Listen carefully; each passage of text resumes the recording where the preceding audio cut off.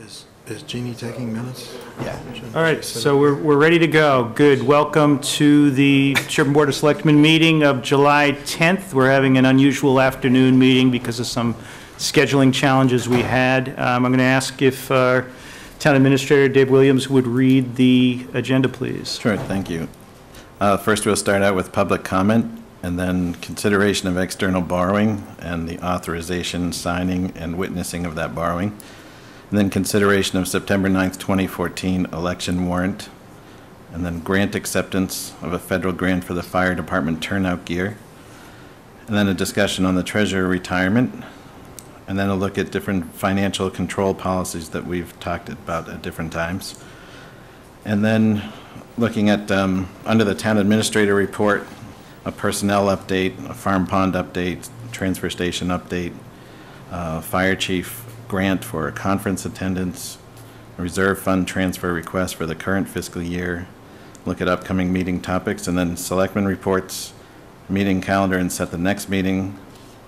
There are no minutes to approve, and there are several warrants that need to be approved. Okay, good. Thanks. Anybody have anything to add to the agenda or No- changes? Nothing to add here? Okay. Well, just a concern, that uh, one of the items here was to consider financial control policies, and there was none in my packet. Right, I, I sent out an email saying that I would be bringing them to the meeting, and you probably wouldn't be able to approve them today, Okay. because Yeah, I'd they like to weren't- read they them weren't sent before out. I approve them.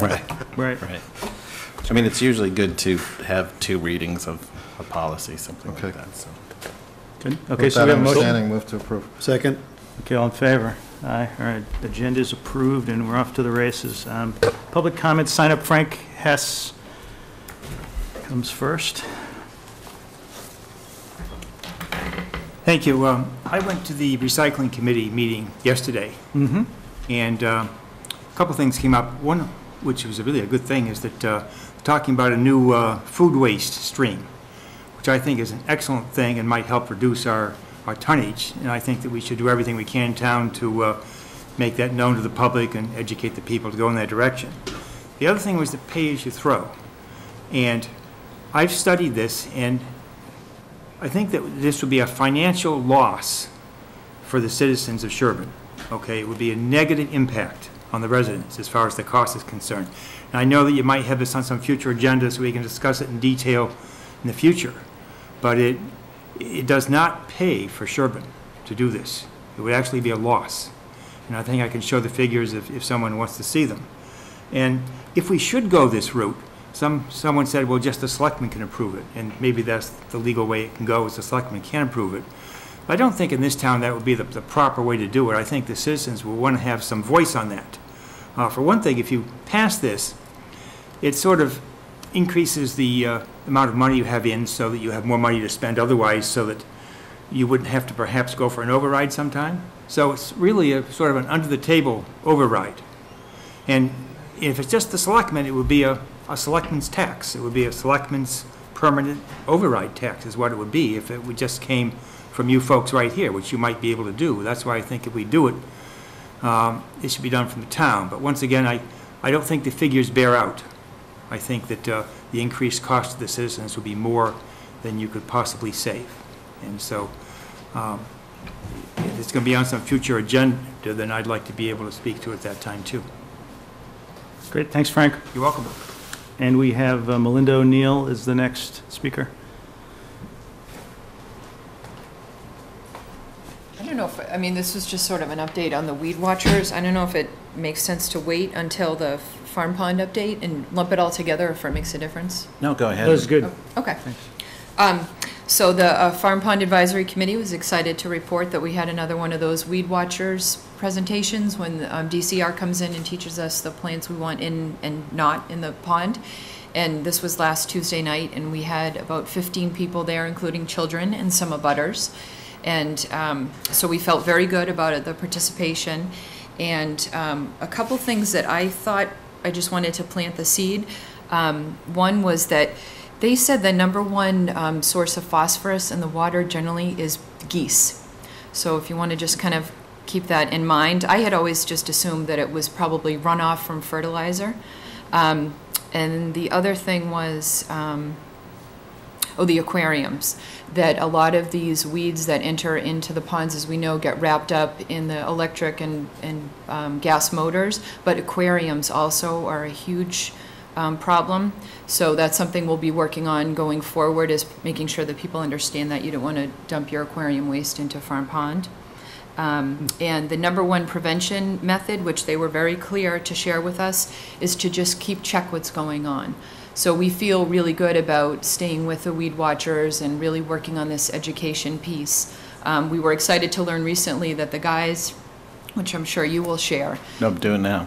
what's that? Share it now. Oh, um, this is really terrific news. So we've already, you know, embarked on the farm pond management plan, as you know, and the engineering study is in motion, and um, they said the pond is like crystal clear. So they've already dropped cameras in there, they've been peeking around, and you would expect maybe to find some weeds or, you know, something. And so far, so good. It looks really, really good. So we are just Great. delighted, Great. yeah. Yeah, it's really good news, so we're very excited. I think that's it. That's just a little snapshot. So we just, All right. oh.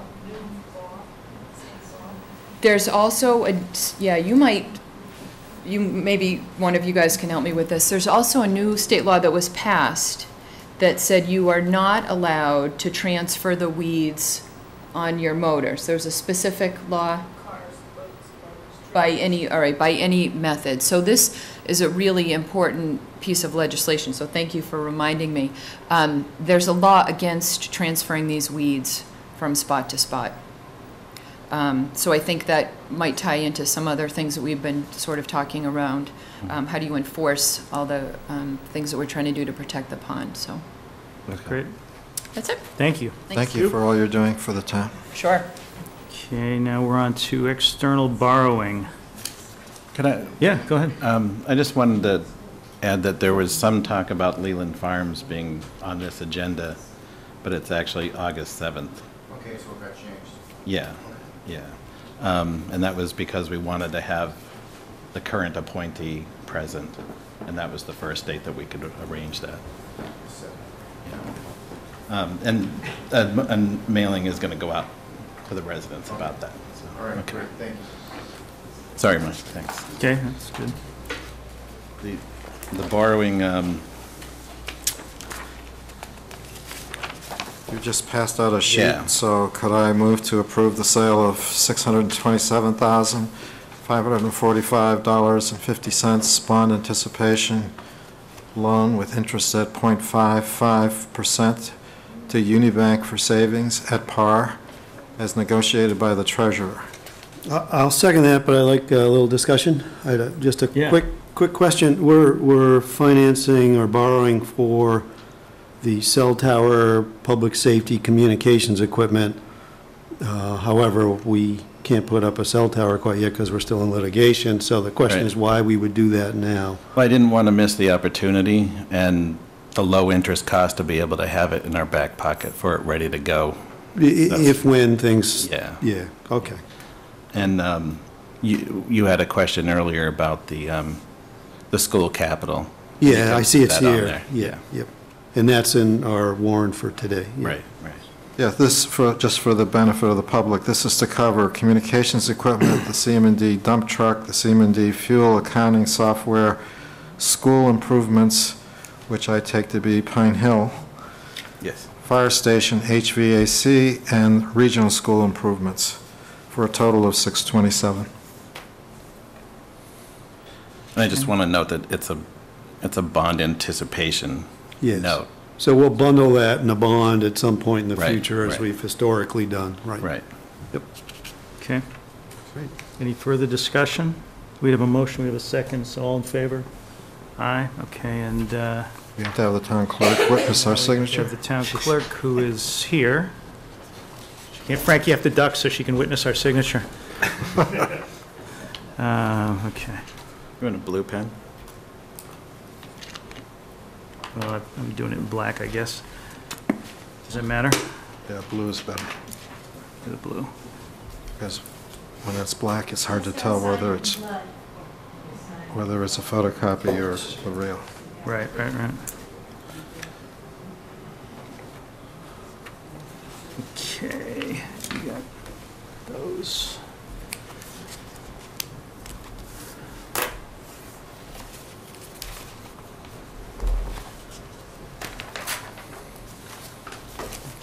here. Thank you.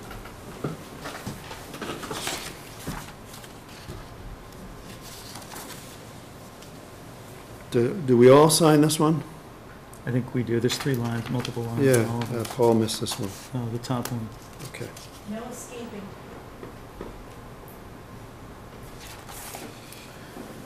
Peter, you sign where it says guaranteed.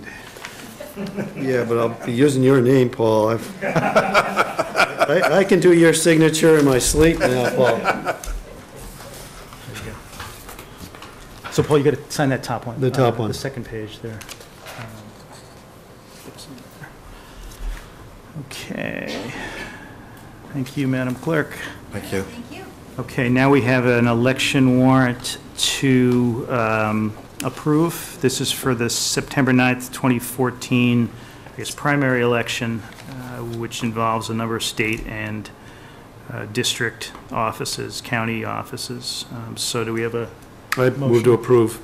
Second, okay, all those in favor? here's the original. Okay, aye. So it's approved. Is that another one where we have to be witnessed? No, No, okay.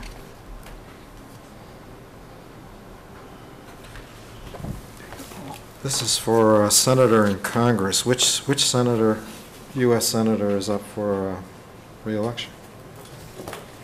I don't know. Does the town clerk know? I'm actually not, su- I have a total blank, Paul.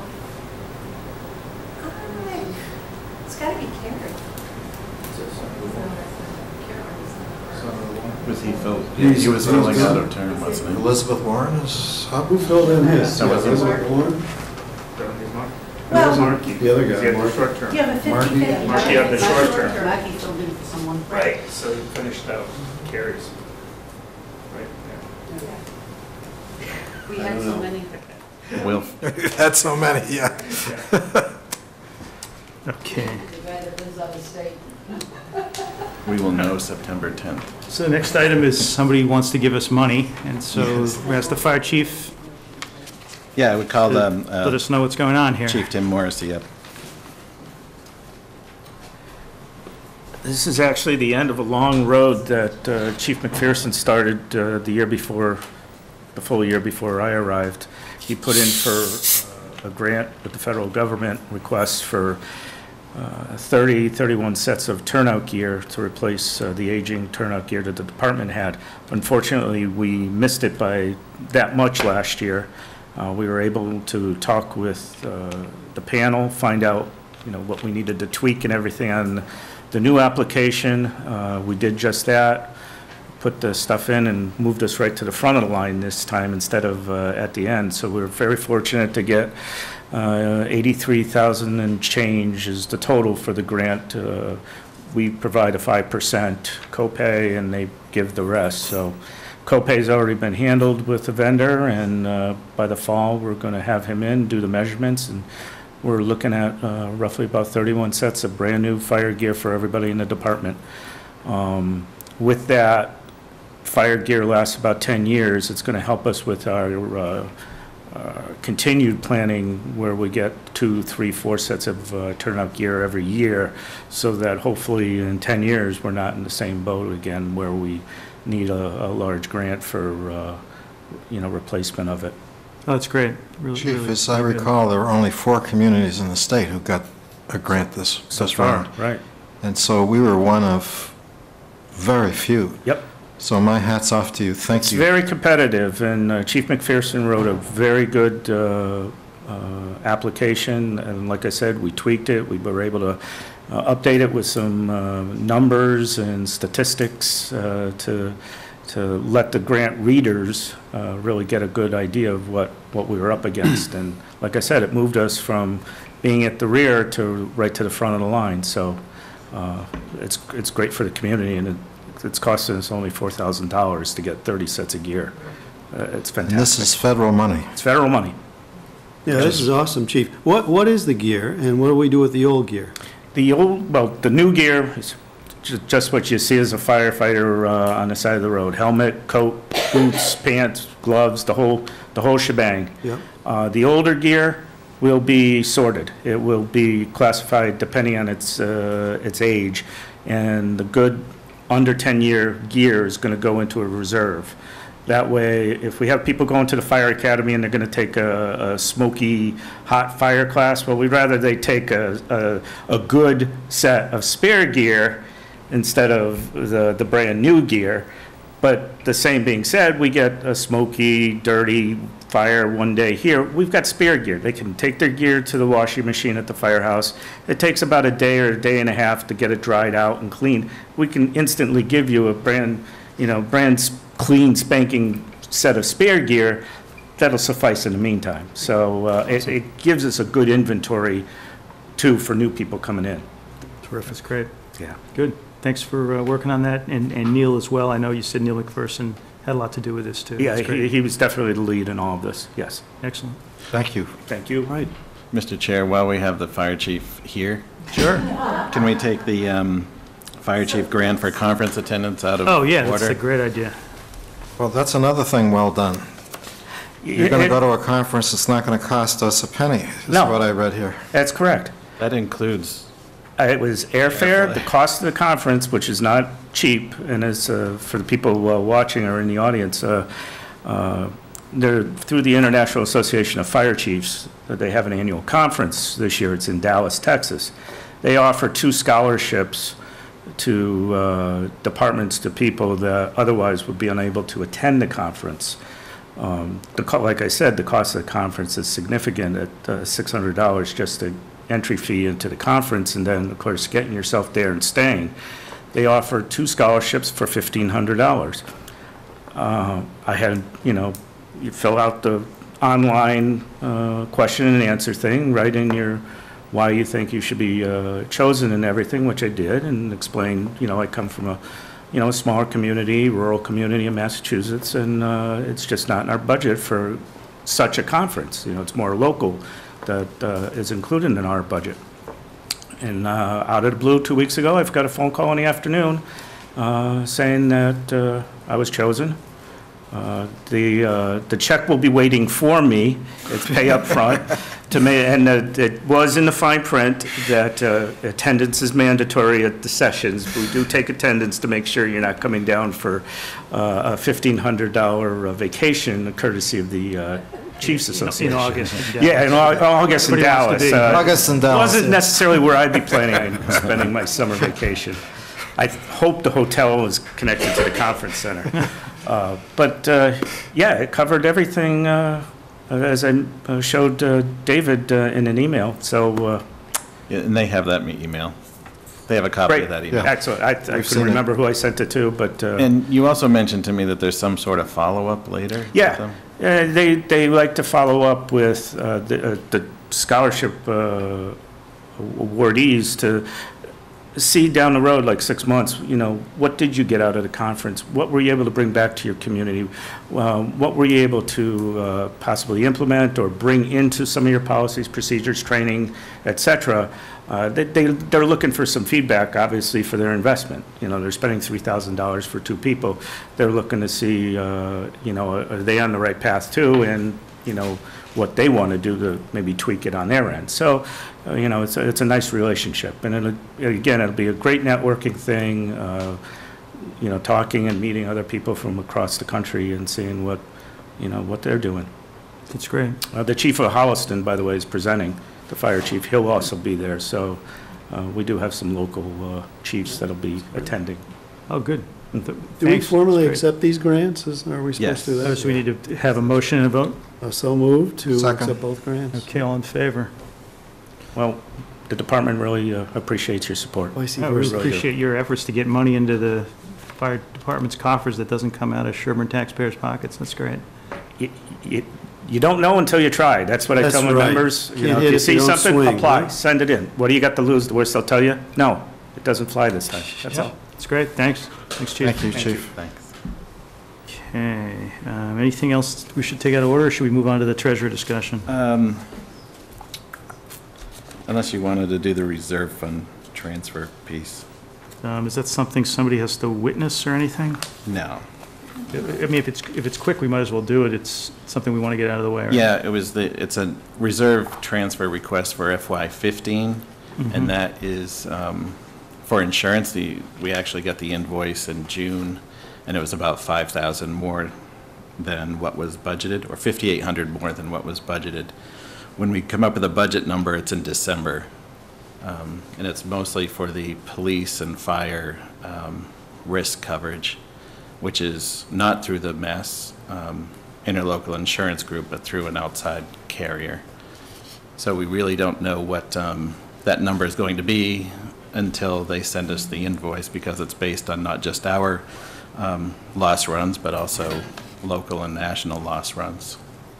So I move that we approve and support a reserve fund transfer for fiscal 15 in the amount of $5,800. Is that the right amount, David, or should we be using your precise calculation there? Should use the precise. 5873.40.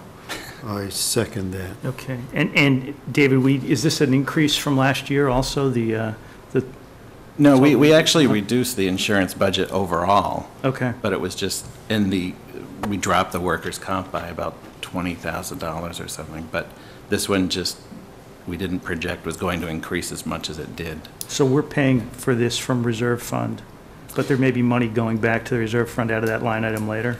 Yeah, there are a couple of ways that could work. Basically, there are adjustments through the year, but the, the bill is due now. Right. So through the year, we'll get adjustments in the insurance when we take a, a vehicle off the insurance, and they'll send us a check back, but that check will go into the general fund. Okay. So it would net out in the end, um, and maybe in the last two months of the year, under the Municipal Relief Act, maybe at that point, if we see money someplace else, we could transfer money back into the reserve fund and Okay. uh, keep it whole. And, and this was approved by advisory too? That's what it looks like here, you've got an email from advisory on that? Yeah, Okay, No, they- I don't They're think they've not approved met it. They yet. haven't met yet. They Yeah. plan to They've not meet. met, okay. She They're understands scheduling a that- meeting to approve it. I Okay. met with her this morning. I I don't think that Yeah. there are any Yeah, so the problems. only other discussion I would have on this is that, d- d- you know, David, uh, I sat with him and we looked at what he had budgeted by the basic categories, and it looks like that we under budgeted by about, I don't know, 15 grand or so, the Chubb Police and Fire Department risk coverage. So, you know, I think understanding what's going on there better will be helpful. Yeah, I think in years past, they've, they've just been increasing the lines, Yes, and they haven't adjusted the budgets within those lines. So um, that's why we dropped the workers' comp to reflect the actual. yeah. So once, once we can, probably another year, and we'll be able to, those lines Better will actually project what reflect. each line is. Yeah, Yeah, yeah, yeah. Because they are kind of mixed up They're right all now. over the place, yeah. okay. Good, and, and we'll, we'll pay that in time to get the early payment Yes. discount? Perfect. Yes. All right, so we have a motion, It's been seconded. seconded, okay, all in favor?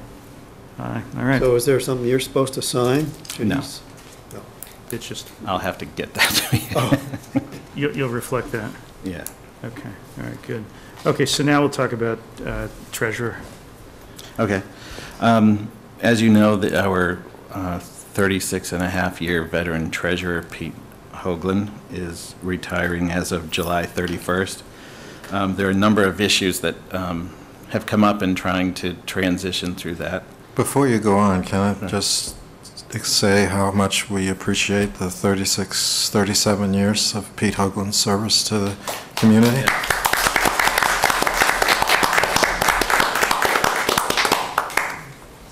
Sorry for the I didn't interruption. realize he was here. Sorry. Yeah, yeah, the, the watch you get, you're, you're wearing it. So um, basically, there are a number of things to look at. There's staffing, there's some sort of consulting protection, um, and, and coverage for, from day to day. Um, And what I had initially done was put together some sort of advisory team, and basically, that's a advisory task force under the town administrator. And that includes um, me, uh, Peter Caruso, Ben Williams from advisory, uh, a member from the governance task force who is meeting later, and they're going to determine who that member is going to be.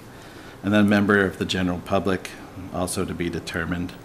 And um, again, this is not, uh, it's not covered under open meeting law, it's just an advisory task force. There may not even be a meeting where all these people are called to the table, but it's an advisory function. Um, Just to look at things as we go through the whole whole process. So Um, they're resources for you, right? Right, right. It also adds just some, you know, public perception of, of validity that other people are, are looking in and involved in, in the process.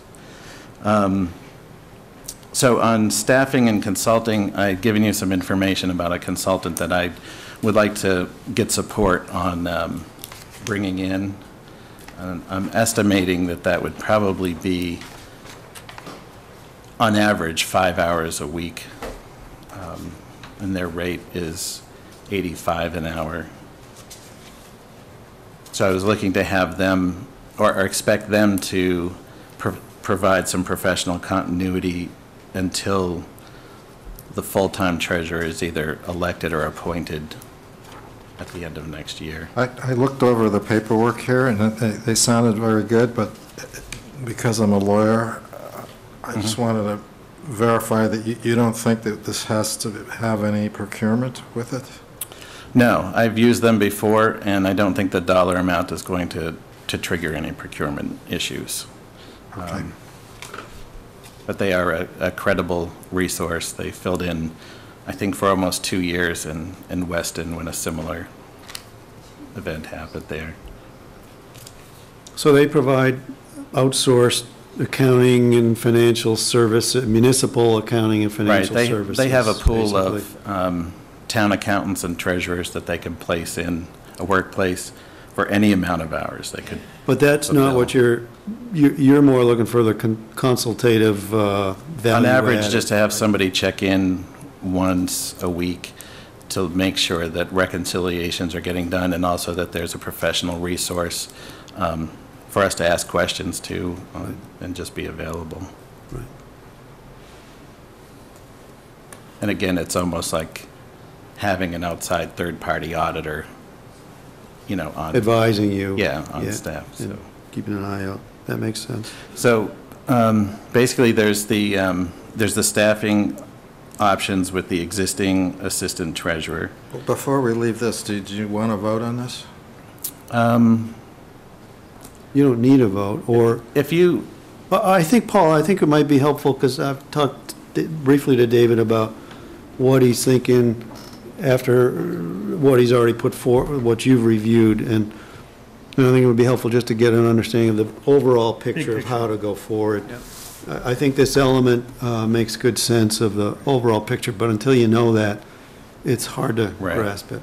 you know? yeah, so basically, I would see it as um, trying to make ends meet with the available budget, and that would include um, increasing hours of the existing assistant um, treasurer um, for a period of time, and committing to the consultant for that extended period of time, and then also having one other person come in, be them as a uh, supplemental employee or uh, preferably a contractor, um, as a contracted consultant to do um, a short-term look at um, the systems and processes and see if there are anything that they want to recommend that we should be doing differently, or help us align the office for a long-term vision, which was talked about at last year's town meeting, uh, that the selectmen had put forward that sort of finance director type structure. Can- Can I ask a question? Yep. Uh, Can you tell us about that Department of Revenue thing that you sent around, that they had surveyed communities about how they handle the treasurer's function? Um, Yeah, I'll try to do it from memory, yeah. Um, Basically, the, the DOR had surveyed all municipalities, and I think it was about two-thirds of the municipalities have gone to an appointed treasurer. And I also spoke to our, um, you know, the consultant I'd like to bring in, and he, he said, you know, that's the, that's the trend, that's the recommended course of action for communities to go to, is an appointed treasurer. Um, And most of those are appointed treasurer collectors. So I think that that was the gist of what that study was. I I recall that Sherborn was in a category that only 24% of the communities in Massachusetts are in, Right. and that 76% therefore was handling the job differently, either appointed individually or appointed to a joint Right. treasurer collector. Right, and most all of those communities were elected treasurers and elected collectors at one time years ago, and over time, they've all transitioned them to be appointed positions and then combined them. Thanks. So that, I mean, that's not our structure, obviously, and that's certainly been recommended by the board, at least two, two town meetings for, uh, you know, Mhm. considered by the board a couple of times. Um, And it may be where the governance task force wants to take the town by next town meeting. This whole exercise that we're, the opportunity of Pete's retirement presents the town, i- i- i- you know, the chance to go look and see is this the best way to do things? Are there better way to do things? Whether we're dealing with appointed or elected come next year, or the year after, or whatever point in the future. But in the interim, given that I think we're talking about, you know, the plan is to appoint David as interim treasurer. Um, We certainly don't want things to slip through the cracks. We don't want to overburden existing staff, uh, both in the treasurer's side of the office over in the corner there, as well as the accounting side of the office. Uh, And we want David to, you know, we don't want to overburden him either. Um, But again, we don't want anything slipping through the cracks. So combination of a consultant and this additional um, So we service would- provider We would appoint David as treasurer? I th- uh, as interim treasurer is what, what I think we're, we're, the road we're headed down here. Right, right. Okay, You- that wasn't in the present, what do you? what No, do you that's right, say? so I, you know, just trying Sorry, to I'm- remi- remind us that Have that that's piece. where we've been roll, you know, where the ball has been rolling for us at this stage of the game. Um, I think, again, it's an opportunity, and it's, uh, w- where we wind up is unknown, but uh, if you, if- if we think of the long-term structure, what will best serve the community, um, we hope to get smarter about that. No, I asked about the DOR thing because he sent that. to me. Yes. So that's, that's basically all I know, is I got this report from you saying that, Right. And I think that came, Well, that's true, because you, you also were on that uh, uh, phone call that didn't work there, Paul, so you missed I- I- half I of the missed that conversation. Yeah, segment. yeah. missed I can't remember who sent that to me, but I, I thought it came from somebody on the governance task force. So it is an issue that they've already been looking into. Right. Yes, I just don't know if they're going to be advancing that ball anytime soon or not, so. Okay. So basically, I was just looking for um, support to have a consultant fill the seat in the office with some time, and an outside kind of third-party watch over, and um, utilizing the assistant, the current assistant as much as I can, to provide for that continuity until the consultants can make some advisories on, on what should change or, or what we should be doing differently. So did the board already vote that we were We going to? didn't vote on anything. no. Yeah. We didn't vote on make anything. him, uh, No, we don't have, we have that scheduled for a future meeting, don't we? I had- trunk, we truncated the discussion when your phone cut out. So, um, I had the, um, But so the issue before us is to uh, appoint David No, Williams as the. I have the treasurer. actual appointment of the treasurer for effective August 1st. I have that on the agenda for July 24th. Yeah. Um, This is just so I can get the support, so I can start moving Putting the pieces pieces. in place, yeah. So, w- just so I can get oriented, so you're saying that as acting treasurer, you would want to have and would recommend to have these resources, and here's how you would handle the job and so on. That's, Right, so I can put things into pigeonholes. right. So when you talked about the consultant, I originally thought you were talking, you know, maybe having, appointing the consultant the treasurer, but No, so I you would be the treasurer, and you would have a consultant, and you would have staff, and you would have, uh, you'd have Pete as a resource, because he's here till, Dave- David would not first. be, David would not be treasurer until Pete was gone. yeah. So he will not have Pete as a resource. Well, well, I But- assume that Except by, that. except by phone. except He's by not phone, going but to I talk to mean- Peter for, No, no, no, except by, except by phone, but in other words, he- you have to they're not buy gonna, they're not gonna overlap in, in that office, of course. Yes, but I. I We'll be would working hope together that- for the rest of the month. Yes, Yeah. that wh- while we're in July and while Right. Pete Hoagland is here on duty and you're here, that th- we don't waste that opportunity. Right, right. And that's why I want to bring in um, the consultant as quickly as possible to meet with us as well, so, so that they're included in that.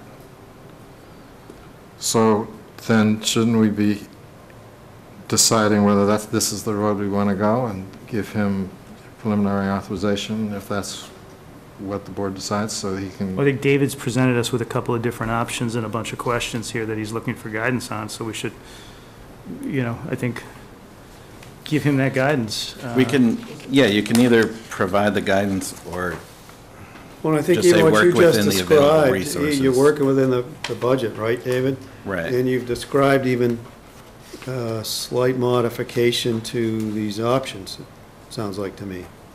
Yeah, i- if, if the selectmen, you know, direct to go ahead and do what's prudent using the available resources and um, apply those to consulting and existing staff for whatever duration, then, um, you know, that's really all I would need to get moving forward on on Right, and, but the longer-term approach is to identify somebody in some fashion who Right. would logically be the next person who ran for treasurer. Maybe there's more Right. than one person who wants to run for treasurer, but I, I have a feeling we may have to recruit or, or otherwise uh, identify somebody who's interested in taking on that job as a, as a full-time job. Yeah, normally, um, you know, the board would want to um, have somebody fill that seat before, or have, be experienced in it so that they can see what it's like, and then they could run for it or be appointed for it, depending on if it changes to being appointed. Well, and there's Um, nothing But to the say- process to do that is, is what,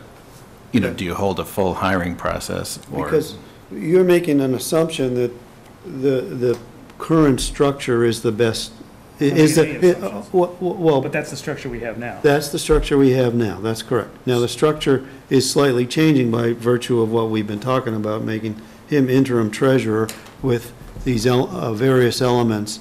And all of that could change at any point between now and either the next election or the next town meeting, should the voters be presented with the decision of going from elected official to appointed, of- you know, treasurer in that situation, which well, could I suggest, uh, just picking up on what he said about a, a successor treasurer, I, I, I would like to see it advertised and people have a chance to apply.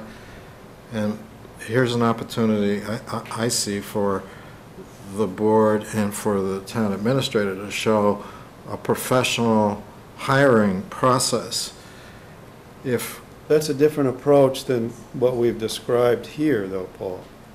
I think that's. no, I'm, I'm talking about long-term. Long Right, term, right. yes. Uh, But, but, Because he can only but serve. that long term is nine months or thereabouts. Or some portion of that nine months. That's correct. But at, but at some point, we have to figure out the ultimate goal of, of having a treasurer. And right now, the structure is whatever it is, elected. Wouldn't it make sense somewhere in that process to have advertisements, have people apply, have them show what their skills are, what their knowledge are.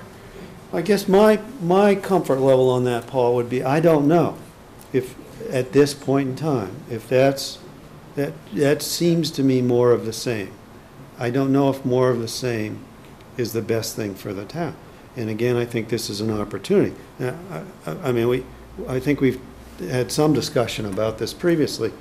Um, I, I am sitting here listening to Two to- different. To ping pong, but, but the way I look at it is, we have an elected treasurer, and until that's changed at town meeting for the next election, I mean, my understanding is that's gonna be voted on in, No, in no, and I'm next not. May, and I yes. think it's highly unlikely that before next May, we're gonna change the position. Maybe we will, maybe there'll be a proposal in a fall town meeting, and it'll, it'll pass. But if, if not, then what we're looking at is an interim process here where we hire some experts, and David consults with some experts and tries to see if there's something else longer-term Right. that we should be doing with that office and tries to structure things in a way that makes it easy to make that change, but with the understanding that at some point we may have another elected treasurer who hopefully will buy into whatever David comes up with as a new approach. Right, That's so why- why would we go out and try and re- recruit someone for a job we can't describe? I don't think we're recruiting anybody now. I Well, wouldn't, that, I wouldn't- maybe that's, what- uh, that's what I'm hearing from Paul. My concern is we just don't, don't leave it to this informal caucus where you look around and say, would somebody please step forward and take this job? And then anybody raises their hand and just says, I'll, you know, I'll do it. And, and then we have somebody get nominated because nobody else knows anything. No, I, I- get you, I think David, Proceed in a little more systematic way, let everybody know, let, let applications come in, try and if it's an help the elected, community. but if it's an elected position, we're not accepting applications for an elected position. Well, eventually, we could, after this process unfolds, and, and David's working, consultants and all of that, we can appoint a, a, a uh, further. An interim treasurer for six months or three months or whatever, yeah, we Right, could. We don't, we, we, we- you're assuming that he's gonna stay there all the way through no, the no, no, election. I'm not assuming that. I'm, I'm just, ass- I'm just, don't understand how we could do what you're describing Now. at this point in Yeah, I- time. and I'm, I'm with Peter on that. I don't understand. I, I think. Right, I understand. Immediately, we, we, we, we need to have coverage for June thirty-first when Pete leaves. July, I- yeah. Ju- Yeah. for- July 31st. I, un- I understand that. I, all I'm saying is that the appointment can't be in a permanent appointment because it is an elected position and It's I not don't a think, permanent appointment. I don't think Dave can live, live with, doesn't live in the town. So the problem with elected officials is they have to be town residents. You can't hire on the basis of who's best qualified. You've got to hire on the basis you have to be a resident of the town. That was the recommendation from Collins. So at some point We can point, put a bed for him downstairs, but no, uh, so at some point in the next nine months, we have to, totally agree. So if the, appoint if we're going to appoint him as interim, I, I'm thinking it should be not all the way through and including Well, how about this? I, I, I think election. w- what we should, in the direction that we would provide, David, one element ought to be these consulting people should come back to us within a point, you know, a period of time, six months, four months, somewhere in that range of uh, various, of whatever they've learned and any recommendations or considerations that we can evaluate, at which point then I think going forward with what your suggestion would make sense. I would say 60 days or Well, if we 90 do that, days. uh, Yeah, I mean, Yeah. 90 days is probably more 90 realistic. days at least, yeah. But, but the appointment of David would be an appointment until the seat is Somebody is else is reappointed. I mean, I think Right. David's taking this on out of the goodness of his heart and a desire to make the town a a better place, but he's not getting paid extra for it. He's already got a lot of responsibilities. I'm sure he'll be more than happy to step aside if somebody else is identified who we think is, you know, worthy of being appointed for a further interim period until the next election or until some change in the structure. Fine, that was my only point. So that if, if a motion is made to appoint him, it's with the understanding that, that, that- that's, there is a Well, right now, implicit he's- time limit. Yeah, We're we're not not, going to do that until the 24th, though. yeah, we're not doing that appointment until then. But at this point, I, I, I'm- I support the approach that David described with the understanding that there'd be some, something coming back to us uh, as a result of that uh, grouping of resources you're going to be utilizing. Right, and we, we could give you a, a budget update at that point to see where we are with personnel Yeah. lines. And so that means the, of these questions you've posed for us, um, I'm not sure any of the first three are ones that we really even need to tackle at this point. Right. No, the, at some point, and, you know, I'll gauge that with um, whoever the governance task force rep- representative is, about, are they going to be pursuing um, the position as being appointed, or are they just going to be looking at it? Um, And I can report that back to you guys. Uh, The other issue is the uh, clo- closeout audit um, that was recommended by the, our auditors at Melanson Heath. And I did do some checking around it. It's a recommended practice if it's beyond uh, um, the end of a fiscal year. Um, But it- It's a no-brainer. It's a, Well, it's a forty-five hundred dollar brainer on, on, on, s- on, on basically a bank rec, bank reconciliations of the accounts, if I'm mm-hmm. understanding what this is all about. And we reconcile those bank accounts every month. And we have very competent people who do that. And the risk of an error is really a timing error. It's not a, you know, there's not, uh, uh, the, the risk of misappropriation of funds is nil. So it's really just a timing error of when you say, this is the amount in the bank account that I'm turning over, only I'm turning over 27 bank accounts, or whatever it is. Well, I'm saying it's a no-brainer because I've been through this process in other communities, and when you're hiring somebody to come in, and again, these are situations where people are hired to come in, professionals coming into an office want to have, for their own protection, to know what the baseline is of what they're assuming.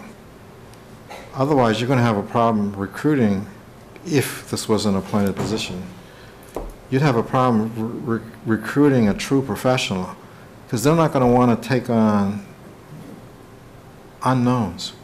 Well, we're auditing as of June 30th. So this is a month later. We've last audited last June 30th, which we're, we'll see a report soon, I hope.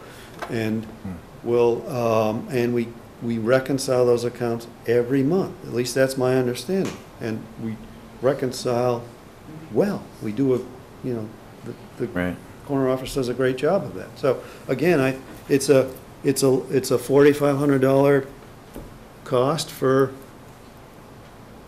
not a lot of value added that I can see. Where do we I- get that price from, David? Is that something you can? That was from Melanson I mean, Heath, is that the something you can auditors. push them back on? They get our business Well, I every year. have, and asked them to relook at the numbers and get back to us. What is, but, for- how many hours of time does 4,500 hours buy? um, $4,500? I can't remember what the estimate, Because they I mean, had if it's on it. really as simple as what Peter's talking about, it should be a lot less than 20 hours or whatever that number totals out to. Why can't I we get an offsetting credit, uh, because we've hired them to hire, to, we've hired them to do the audit as of June 30th for 2014, right? I requested them, uh, would there be a reduction in the FY14 audit cost or the FY15 audit cost because of the amount of work that they would be doing on this? But So, they're I don't have an duplicating- answer on that. You yet. you know, they send out confirmations to the banks, and they look at the transactions before the month end and after the month end, and make sure they're falling in the right period, Right. and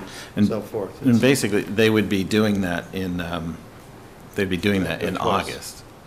And you would have the results of that within a couple of weeks as opposed to a year from now after the close of the fiscal year. But the, the end One product month. is a report that says the July 30th bank account numbers are whatever they are, right? Is that? They would have I to mean, I haven't seen one reconcile, you've Done back and forth. they'd have to reconcile every cash account and, and um, make sure it's reconciled with the town's books.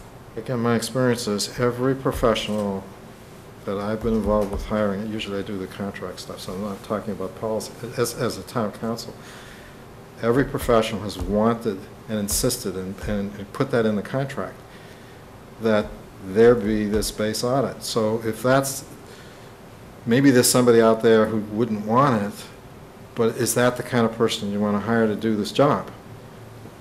It's, But, but that, but that, that argument has, is irrelevant to what we're doing here, because to the extent we brought somebody in, it's at a future date, we, you'd want to do it all over again. And so, I don't, I don't want to spend other people's money That's a good to make somebody comfortable that isn't even here, or coming in. That's a good point, that It- a new hire is going to want to look at it as a date that they, they come in, So I, I, which would probably be I- I- June I don't know, but I- 2000. But I'd certainly, you know, I think uh, if Pete has perspective on it, or if Deb has perspective on this, I'd certainly welcome it. I mean, these, these people re- re- reconcile these accounts every month. Unless the audit is more than that, but that's all I understand is what you're really talking about, is auditing If the Pete bank wants to add something that I'm missing, but I think that that's what it is, is the reconciliation of um, Not every like that. account. When I came in, I, I asked for an audit and had an audit before I assumed the position.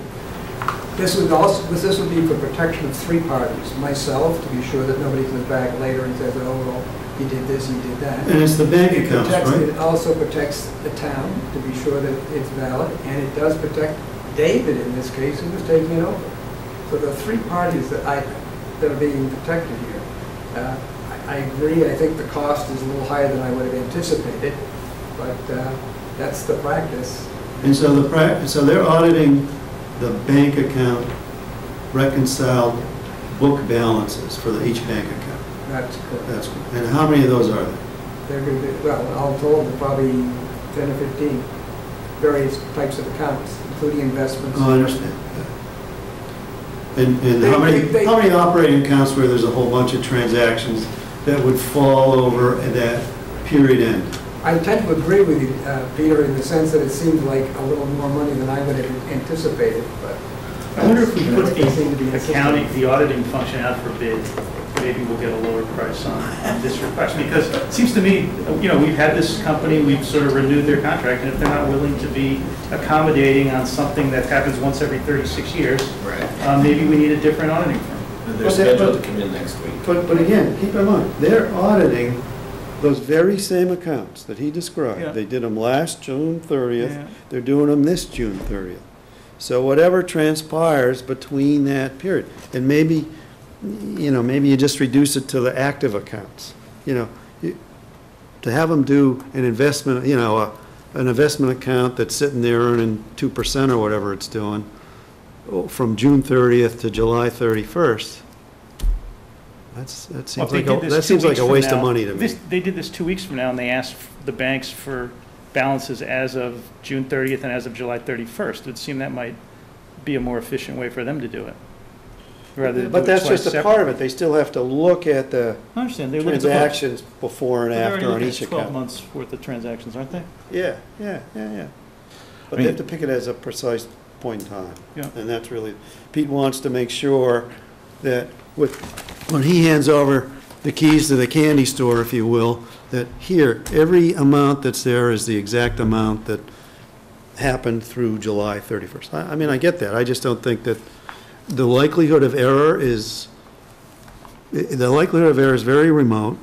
Uh, the cost to do it is very high, and, you The- know, the I I person- would anticipate no problems anyway. The person I spoke to, um, at Melanson Heath, said that he would kick it up to the next level for an answer in writing to me about what credit would be off something else if they could do that. So Um, we'll- and we have that answer by the 20th?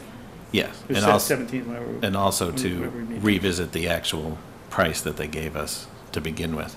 I can also get a competitive quote from the, uh, the consultant that was planning to come in. Um, They, they do the same Oh. kind of thing, so. Mr. Chairman, Yeah, keep in mind that you're going to want to do this again when David hands over the treasurer function. I think Pete just said that, yeah, yep. So, you know, maybe you can get a three-for-one deal. Two for, buy one, get one. I think you ought to look at it as the cost of doing business anyway. As Paul said, this is the standard. Well, it- it's over- not standard in business. I tell you. It's. It may be standard in, you know, municipal scenarios when you're spending other people's money. You know, and a few hundred bucks here, a few hundred bucks there. Next thing you know, we got a twenty-two dollar tax rate, and fifteen thousand dollar average tax bill, and home value's going down. So you're not gonna find me too, too happy to be doing this. Well, I understand you. taking other people's money. Again, I think it's highly remote that there's a risk, but Can I Yeah, I mean, I- suggest we I- I put don't- this thing I- I think off we until should we get a final information price? from David. Yeah, from the auditors, David, and I mean, explain, explain to them that um, we're going to need to revisit the whole audit function if we don't have an auditor that's willing to be accommodating on stuff like this, and that that's a huge number compared to what it's buying us, or at least it seems that way for us. Yeah, there was an email that uh, Pete had sent me that was from the auditor. Did I forward that one on to you? I don't know. I mean, it was just a sentence or two. It's not, So, so that was question four. Um, And then uh, you had some questions about staffing and, and how you approach staffing. I would kind of leave that up to you, I think, Dave. yeah, if, What's if the best board's comfortable approach? doing that, then that's, that's great. Works for me. Then you Yeah, I don't think so. I have mean, to I make think- that decision, yeah. Yeah, and I, I, I don't know that we need to make the decision, and I think you know that there's a lot of value in, um, people who've been doing the job for a while and have information. Right. So I don't think, Yeah, I think the whole thrust of what this board and prior boards have been trying to do is to create a town administrator who handles the details, and we handle the policy issues. So the issue of, you know, who does what, and all of that, that's what our town administrator is supposed to be doing. And if we're going to make him the treasurer, if that's the proposal, then you're the acting treasurer. You're responsible. mhm. So I agree entirely that it should be Yep. up to him how you administer that job, and who, and mm-hmm. what hours, and, Yeah, oh, Okay. yeah, yeah, No, no, and and I think you're, I think well, your with that approach support, might it be makes good. it, yeah, it makes Yeah, it easier so, to. so I mean, to- come back to us on the, what is it, the, just no health 24th. insurance. No. Well, I mean, come, come Don't- back to us on the 24th with, you know, a refinement of what, what your plan is. We'll have more information about the closeout audit in terms of pricing, and we'll be able to make a decision on that. Yeah, I mean, I learned two days ago I was on this task force, you know? Oh, at least you learned two days ago. Um, But, but, but further to what Paul said, at the same time, we don't want poor David.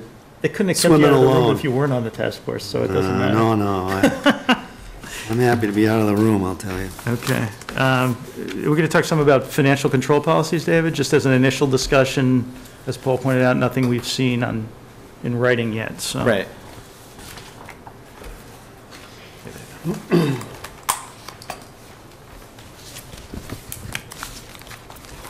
So I don't know if you want to um, go through each one, one by one, or... We don't know well, what's no, in no, no, here, there's- so- Oh, there's a bunch one of, packet for, there you go, yeah. Um, Or just look quickly through it and bring it back for Well, why don't you, why don't you describe what, what you've given us, David? Well, the- the first thing is an employee leave request form. Um, Some have been using it, some have not. And basically, uh, and it's to give me a heads up when somebody is going to be out of the office and who isn't going, t- who is going to be in charge during their absence. And that's just a form. It doesn't need to be a policy, but I just wanted you guys to see that it's, um, that it's something I would like to do. Mhm. Do you have any of these for the audience? I don't have enough for the whole audience. Would you like me to make copies? I'll go make a copy. It depends on how long we're gonna Well, aren't we gonna study these, because we haven't even looked at these? Yeah, yeah, this is the first time you've seen all it. right, I'm, I'm not like Congress where we pass something and then read it afterwards.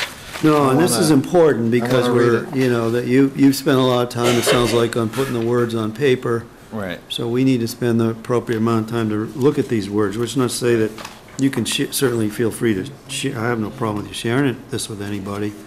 no, they Um, can, I want to be sure that everybody is treated with respect, that this is, um, No, but I think, yeah, Dave, why don't you go through and describe Right. what's in here, and so the, we're the not going next negotiate words. item is the, uh, is just a memo that I was planning to send out, um, and it's just a reminder about the Board of Selectmen's policy from 2010 on policy on computer network and telephone access and usage. And it's just a reminder about um, the process for getting, who's responsible for what technology within their department, and when they need um, our technology contractor, um, Kevin Whitman, to contact our office, and that we would be the contact with Kevin, as opposed to the individual offices contacting Kevin. Is that, is that a new policy there, or is that part of the Um, 2010 policy? Kevin, we talked with Kevin, and he prefers it that way, and he says that's the way it runs in most places. Um, And that would prevent something showing up on the warrant um, to be paid out of our budgeted funds that we didn't. so it's Approve a up similar front. approach to how we do legal Right, right. services. Right. Right. Makes sense. Um, The other two policies are ones that the boards have, uh, board has referred to a couple of different times. I'm sorry, just before you get to that, David, but the, the title or the subject matter, you say access and usage. But you're not really tapping in, I mean, now, not having read this, but the question is whether we're also dealing with issues that are dealt with in our personnel administration plan, which is, you know, what you can or can't do when you're fiddling with a Well, the whole computer. policy is policy on computer, network, and telephone access and usage. And that policy deals with all those issues. Okay. The area that I'm focusing on is this planning and this budget for person. computer and So software maybe the reline is a acquisitions. little misleading, maybe you want to just re- rename this memo so that people are clear, it's only dealing with. This no- one Nothing else has changed, but it's dealing with this. Yeah, uh, Okay. The, the, the co- way you, mechanically, the way you contact somebody who's going to come fix your computer. Right, and we'll be attaching the whole original memo, I mean, the whole policy as it was originally approved. Good. The next one was, um, the board had requested them to look at townwide mailings and see how something could be controlled or um, prevent a number of townwide mailings going out at the same time when we could have combined mailings and saved some costs on, Stuff on postage. So bills.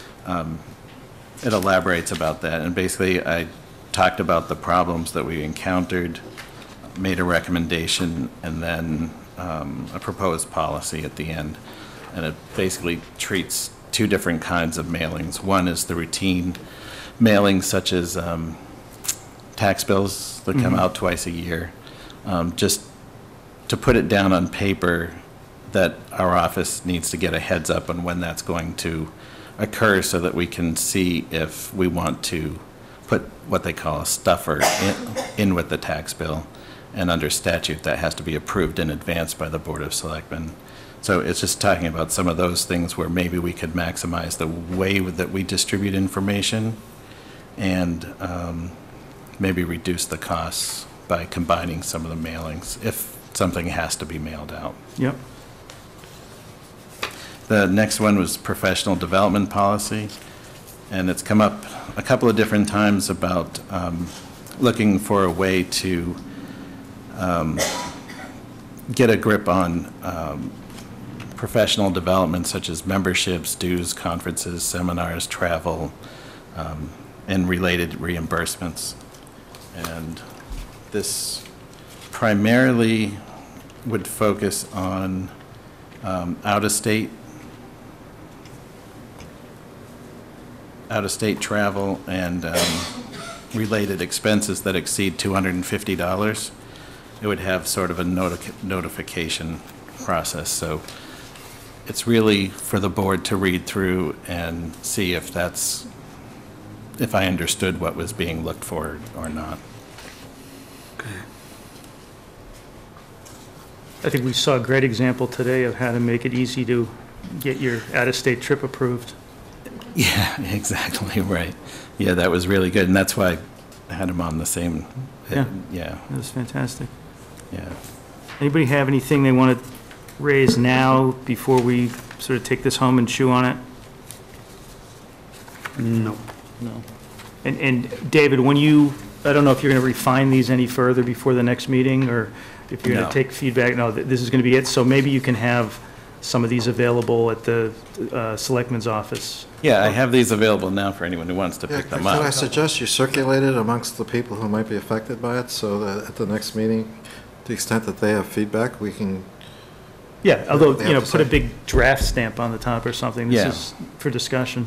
Yeah, my hesitation is that you haven't reviewed it yet, so I don't even know if I hit the mark with what you're looking for, so people, Well, that's what I was asking you. read Do you- it do you, with- ex- do you expect to be making an interim revision based on whatever immediate feedback we might not have? until I get feedback from the Board of Okay. Selectmen. But if you get feedback between now and the 24th, you may make some changes. I would, yeah, I would bring those back to the Board of Selectmen. So, so can we agree to have whatever you're going to have on the table for us on the 24th, whether it looks like this or it has changes? That's a Thursday. Can you, can can you agree that by that Monday, you'll have them available to us and available to the public that might want to review or comment on them? In time for that meeting? Well, the meeting's going to be on a Thursday, right? So by So that. by by Tuesday that- afternoon? Or I was going to say by Monday, by Monday afternoon, so you had a few, a few days, so that's a week and a half from now. So if- Right. if, if we give you some But he's, go- feedback. are you going away? Oh, you're away. out, you're out next week? Okay. Right, So right. by Tuesday afternoon, then that's fine. Yeah. Yeah, I'm, I'm just trying to, you know, establish a process. There are going to be people who are interested. So bring forth proposed, any proposed edits. Well, I to don't this know about document edits, But as if of- you get emails from any of us up here saying, did you think about this? What about this? I have a question about this. You can either incorporate it into here or put a comment in the margin or something. These are living documents until they're adopted, Right, right? right. And, but whatever the state of the art is as of the Tuesday before our next meeting on a Thursday n- evening, then just have, you know, Diane, have Okay. Diane or you have those at the front counter so people can take them and Yeah. look at them. Okay. Yeah, like If I could just say that s- some of these say all employees, blah, blah, blah, and it goes on with, when you're talking about all employees, I, I- I for one want to make sure that all employees have an opportunity to see what this is and comment on it and provide things, their view and their perspective on it before I vote on it. Oh, I, I got some views before they've actually even seen it. well, All right, that's good. It's good. We mean, town employees include us, too. I mean, I mean, board, It's board de- members are town employees as It's well. defined in the policy, it's pretty much anyone who's conducting town business. Yeah. Yeah. so. Carol? Um, I haven't seen this policy, obviously, but um, I did want to address one point that was made, I think, two meetings ago. And I finally had the opportunity to see that piece on television the other night. And um, someone mentioned the fact that it might be a conflict of interest, according to the Ethics Commission, for employees to be signing um, bills payable for professional um, organization memberships. And so, um, um, as I always do, I went right to the source and called the Ethics Commission, um, spoke to one of the attorneys that I deal with frequently, and she said, and I quote, if, and this was for me, if I belong to a professional organization only because of the position I hold with the town, then it is perfectly fine for me to sign that warrant. Um, Also, if I attend a professional um, education um, class or conference or whatever, um, only because of the position I hold for the town, then it is also fine for me to sign that warrant. So that's pretty clear, I think. Um, It would not, be and to give you the alternate um, example, it would not be okay for me to sign the warrant if I decided to take a class on something that would have a much broader use than just my job, then I would need to have somebody else okay that, town administrator, assistant town administrator. But as long as it is a professional organization or a conference or educational experience that I'm attending only and solely because of the position I hold with the town, then she told me it was fine. That I did not, in fact, have a personal financial interest. Okay, I mean, that's fine. We have to sign the warrant before a treasurer can cut a check. Right, I so think that's what I think we'd have to be satisfied also, and that's, Right, I mean, and I'm satisfied when David's reviewed it and- and authorized it, so. right.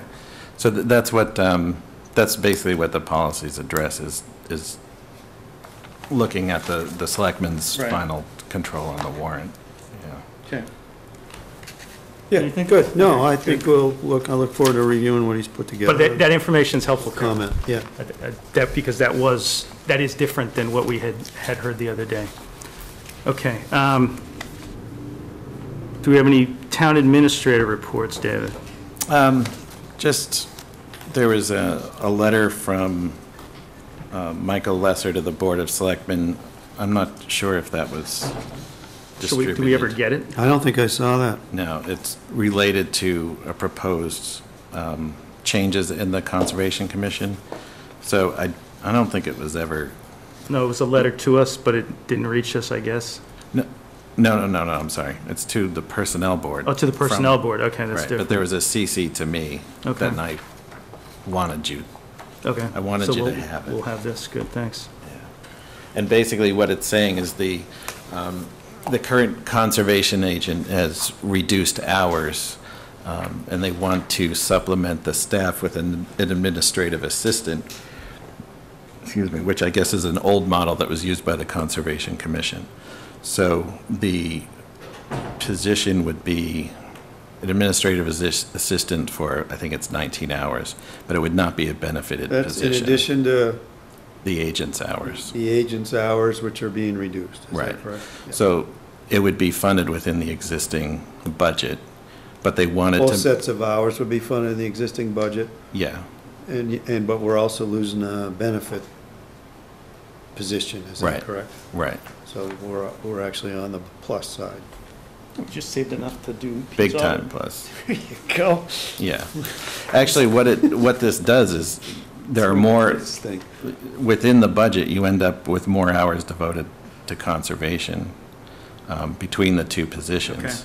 And um, you save, have the benefits savings um, that's significant. Um, Why it's going to the Personnel Board is because they want to make some updates to the old administrative assistant job description that they had.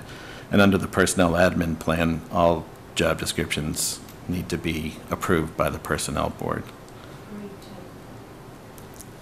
And so this will be a, uh, for the foreseeable future, change in the structure of the conservation department. if you will. Right, and I think, I don't think Conservation has actually voted on this yet. Okay. So once they get. Subject to the proper necessary approvals Right. by them and personnel, this right, is. so once they get an updated job description from the Personnel Board, they sh- would be taking it back to the Conservation Commission for review, and they would either turn it down or agree to move forward with it, and at that point, then it would become a posted hiring.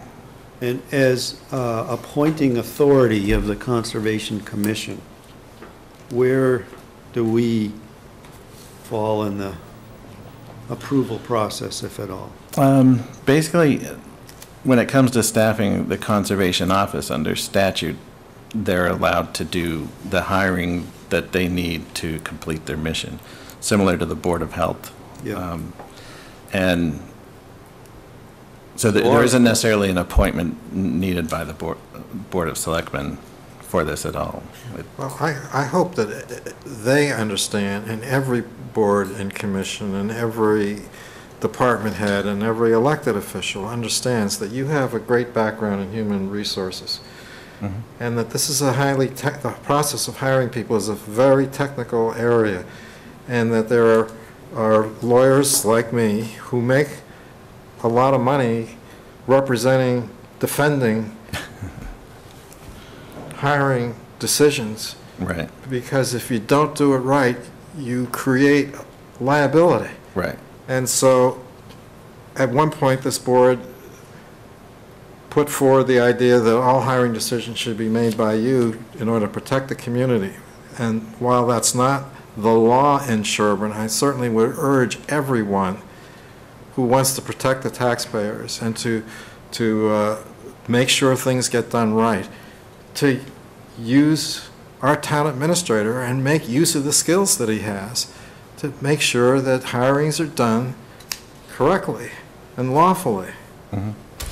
Yeah, i- in the, in the past four or six months, um, I've worked with the town clerk, the tr- tax collector, um, the assessing office on filling vacancies, and that's prior to any changes on my job description that were done at town meeting. It's just been working, you know, in the right direction Good. in town And hall. we're going to go over that at our next meeting, your before and after. Right, we were going to go over to see what, what ch- things are changing because of, uh, What was The job voted and description approved by changed, the right. Attorney General. Yeah. Right, so people have been um, uh, respectful of, of including me in their processes. Yeah. And, and I've been using the personnel admin plan as a guide to make sure that it's adhered to, and then taking notes of changes that we should have to the personnel admin plan. for the future. What about Farm Pond update, you said? Um, Melinda gave a brief update, um, so I was going to mention that. And then um, I was just going to mention that Farm Pond is open full-time and full swing. That was the reference to the operations. And um, w- the enforcement issue that we'd been working at, we were working with town counsel and the police department to try to trace back exactly what um, can be enforced. Uh, town counsel said that they're comfortable with, right now, with anything that was officially approved uh, by the DEP in 1978. And I think I've been wor- working with Pat on trying to compare what was approved then and make sure that the rules as they stand today are still those 1978 And they rules. seem to be, from, Yeah. from the comparison I saw. Right, so um, it's just something that's been kicked around there. Um, So the, the police will be able to enforce clearly that there should be no uh, mechanically propelled boats on Farm Pond. Uh, And that includes electric motors and, and gas motors. Okay. So that's where it had grown out of. Transfer station, anything? On the transfer station, um, we've been working with the designer, the engineer, to um, come up with a drainage plan. Um, The most recent design, we thought um, we should spend a little bit more money on to reduce the maintenance burden. Um, Just the way it was designed, there was lots of runoff areas that would, we'd have to rely on keeping them cleaned out as opposed to embedding some sort of piping system underneath the, the ground. So we're working to revise that. Um, So we're able to bury pipes, given the conditions out there? Right, Okay. right. Um, So what's the timeline for the paving project to be done? We're still shooting by the end of summer that it's, that it's going to be done. So by, by Labor Day?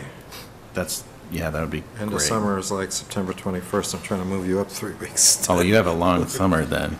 'Cause I would say the end of August is what we're, Terrific. we're trying, yeah.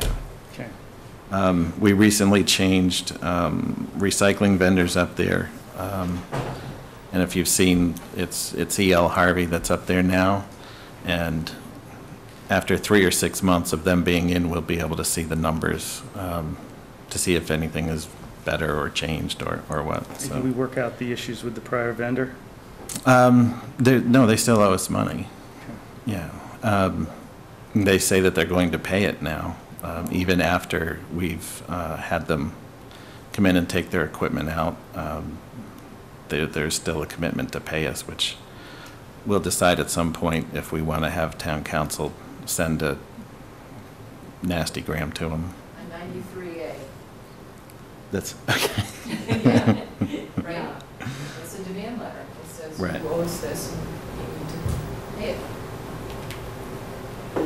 And, um, yeah, so that's, um, some, and then there's this program that, that uh, recycling has been talking about, the, the food waste program. Right. So there's going to be public information going out on that, so. That's great. um, How's it being disseminated? It is not a townwide mailing. That would be a good article for the newspaper to run prominently on its first page, this new recycling program that Sherborn has. It'd be a Right. great idea if, if anybody from the press is around. Right, yeah, if you look at the, um, if you look at the, uh, th- that policy, you know, there, I listed every other option that, um, Right. should be exhausted before we do a mailing, so. um, And then, uh, I had upcoming meeting topics for August twenty-first, was to look at just fee changes, um, any Yeah, that may- recommended fee That may changes. be a, a meeting with some remote participation, so I don't know if that's the. Yeah, best I had meeting. that marked as remote, or we be can, the best meeting for fees, we'll do it the, the following one, yeah, then, if we- if we're having one on September. the 28th of September. And we whatever. also um, are talking to town counsel about doing um, the training that was provided for in their, in their contract. Great. That we'd do that um, mid to late September is what we're lining that up That's for, great. after all the new committees are in place. And you can tell all the committees that they can send somebody or send mul- multiple people or Right, whatever. right. That's great. Uh, So that's, that's all I had. Selectmen reports, how was the food at the COA? Food was great. Uh, Peter Lifferton was the uh, grill meister, and uh, it it was It was, uh, it could have been a free lunch for me, but I contributed that way. I'm not beholden to anybody, uh, so I paid for my free lunch. Uh, But o- otherwise, one question I had, I had gotten a call earlier this morning from Ed Wagner on uh, his plans for That's paving right. things. So could you speak to that and just make sure we're all on the same page here on that one, David?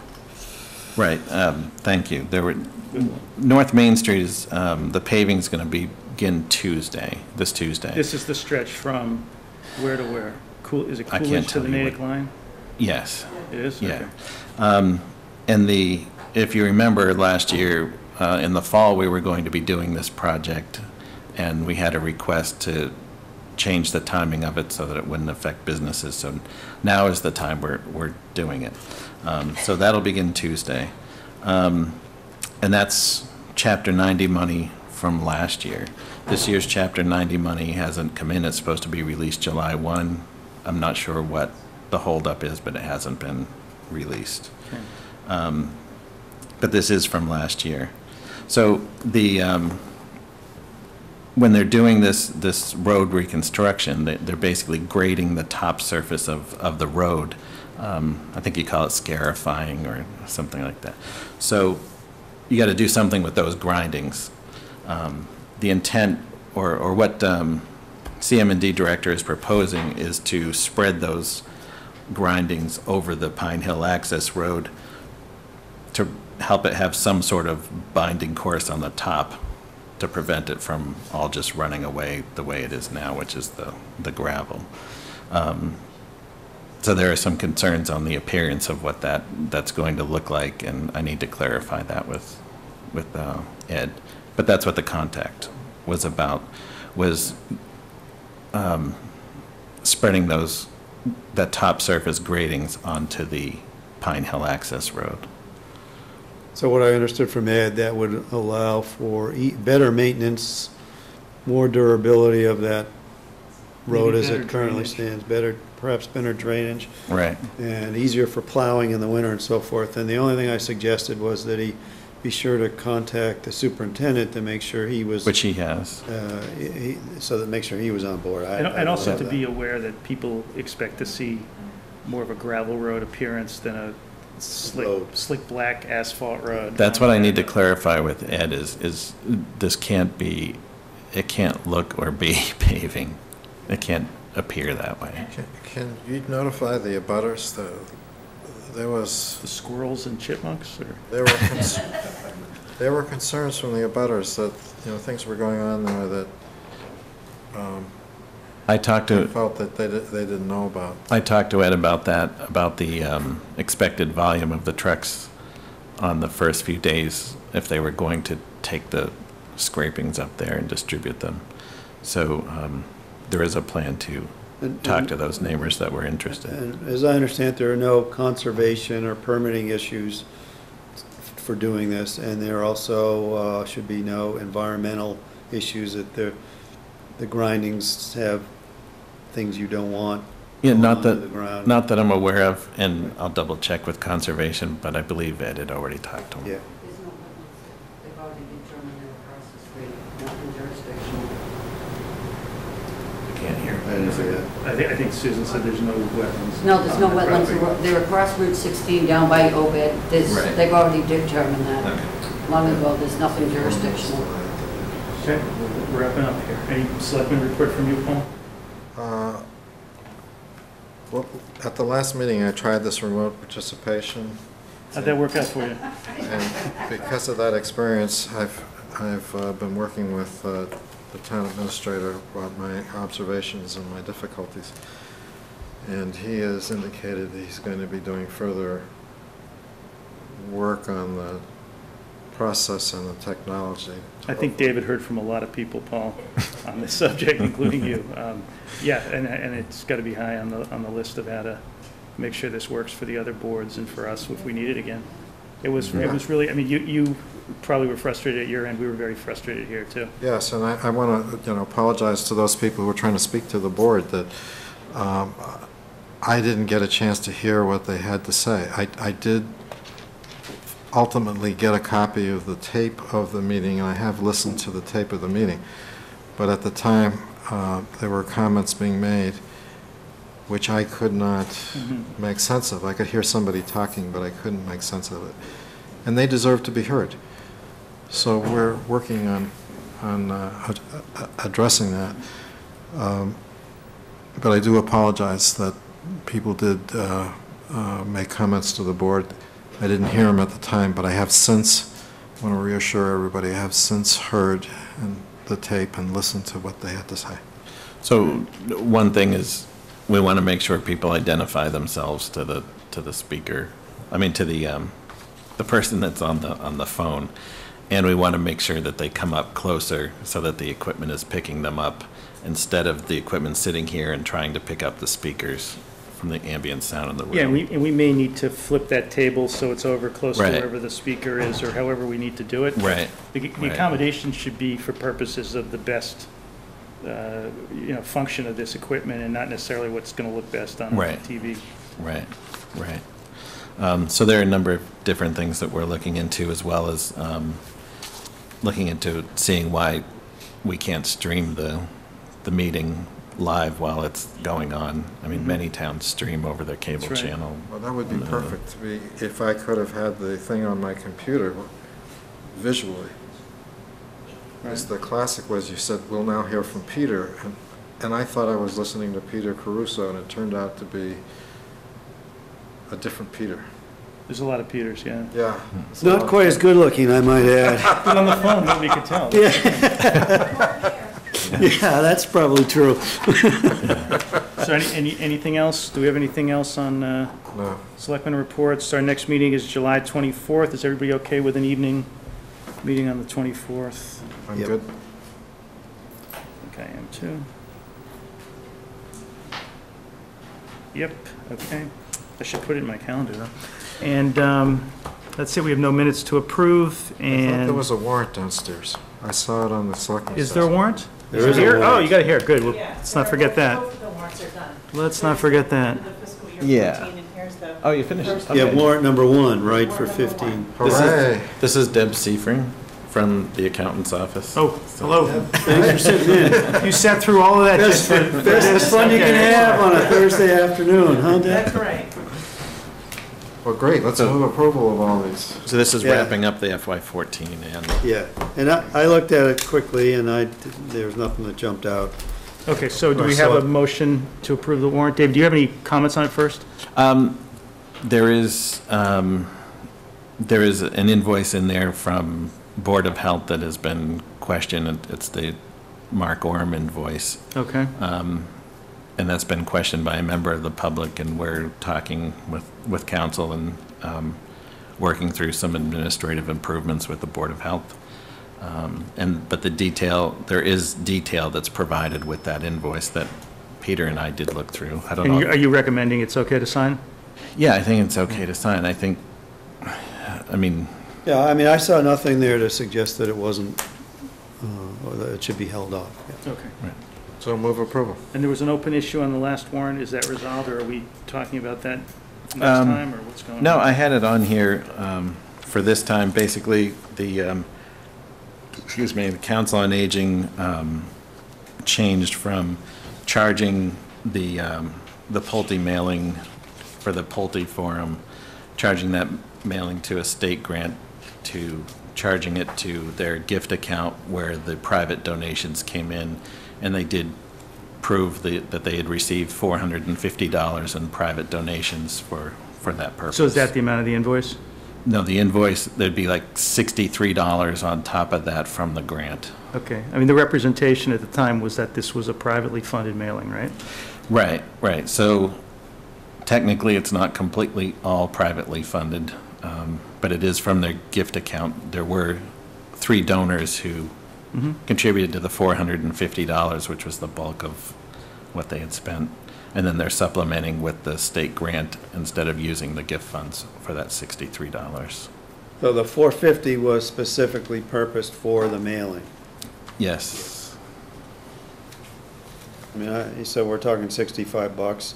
I mean, the point, I think we made the point at this stage, that this was presented to us as a private, you know, privately funded mailing there were some concerns by some of the residents that it was on, you know, town letterhead or, you know, however you Right. could describe, certainly the town address. Um, And so it is flowing through the town's coffers here, but the bulk of it has been purposed, uh, you know, gifted specifically. So that, I take more comfort in that. Right, I, I think originally, we believed that it was completely being taken care of by a private Right. entity But we believe outside that of us. Because we were effectively told that Right. at at the Right. meeting. Right, right. Um, So the first, in the invoice that was held was uh, maximize state grant funds. And then um, when we brought it to their attention that it was presented to us as private funds, they did show the, uh, the donations on their records. So it's Um, not coming out of the state grant now? Just that $63 Okay. supplemental piece. And is that in So- this warrant? Yes. So we're not holding that, we're not holding Board of Health, and there's nothing else in here that's Oh, I'm sorry. questionable? That warrant is That's not the in last there. warrant. Right. That's the last It's in warrant, the other right? warrant. Held Right. aside from the last, The one that we held out from last Gotcha, time, okay. that would be um, voided, and then the new request would come in on a warrant. But it doesn't matter the fiscal year because of the, um, gift and yeah, grant. yeah, the gift. So you're gonna re, we're gonna redo it, is what you're saying? So we'll, s- Okay, fine. either way. Yeah, that's fine. Good. Do we have a motion on, what am I looking at here? Paul made a motion and I'll second it On this one. on this first The warrant. first warrant, one of 2015. All in Okay. favor? Okay. Aye.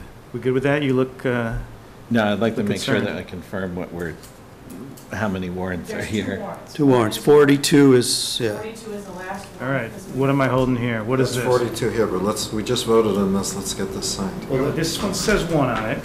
and This There's- one says there's- one on Yeah, it. there's two pieces to one. Gotcha. One is Oh. the payroll. All right, so one they were is just the stacked up payables. wrong. They- Okay, yes. we're good. Those numbers match. But the Excellent. motion that I Okay. made and that Peter seconded is to do with, 42? yes. You, okay, the motion for 42 has been seconded, all in favor? All right, okay. Okay, Let's sign that. so we'll sign that one. And that's the last warrant of 14, correct? Uh. That's what it I don't- says, 6:30. It's a six there. I don't know if she, would she do, we wouldn't do another warrant for FY fourteen, would we? There, there are um, encumbrances sitting out there. So we might have additional FY, well, the question was here, uh, additional FY fourteen warrants could come before us. Well, there's no cleanup warrant as such. There's encumbrances that will happen, but it won't come through on a warrant. So Okay. because Oh, it's an okay. encumbrance, it'll be in the, It will, Being a fifteen yes. warrant. So that's the very last. Yep. That's the FY last fiscal 14. year 14. All right, and do we have a motion? Now, David, you've also reviewed this July 10th? I've been looking through them and I'll continue to look through them, yes. Okay, and those are okay? Yeah, I, I didn't see the payroll piece, but there's two sign-off pages. Um, I, I- so I move to approve. Uh, I I think we have, you know, more management understanding issues on what's in there, nothing to hold it out. And there's two different sign-up pages. Why is that? Uh, it looks like, so we have two sign-off pages, Uh, Deb? they- Because one- for the part amounts One, there's two, just because the payroll section. came in just got late, done. yeah. Yeah, So we Uh, were so able, This is for payroll. yeah. Okay. Uh, that- Yeah, so you can just get rid of Delete this one? Yeah. Okay. There you go. all right, So did you make a motion? I did. I seconded. Okay. Further discussion, all in favor? Uh, Just under further discussion. Oh, you want, yeah. Uh, I noticed that the TA signature is not on this warrant. She's I just- vacation this week. no, the town administrator. Town administrator or town accountant? Downstairs, it means something. Yeah, upstairs means time. Yes. We're upstairs now, Yeah. so let's just say town administrator's signature. Yeah, so Subject to, my uh, vote to approve the warrant was subject to the town administrator's final review. Likewise. yes. Yeah, okay, good. So all in favor? Aye. Okay. And soon, David will be able to sign these without as much falderall from us? That's right, we get a chance to look at it if we choose to, right? And, uh, and can hold something aside if we thought I it think made that would sense. begin in August. That's right, August 1st, the 30-day, Days from whatever date I told you I posted. I think it was, yeah, July July 2nd or 1st, something. you said. Sometime in August. Oh, good. Coming soon. Great. So can I move to Theater adjourn? near you. Hey, Second. to adjourn. Second. Okay, further discussion, all in favor, aye. Oh, good. Good job, We're outta here. everybody. Paul, we only, we're seven minutes beyond You're wonderful. your goal here.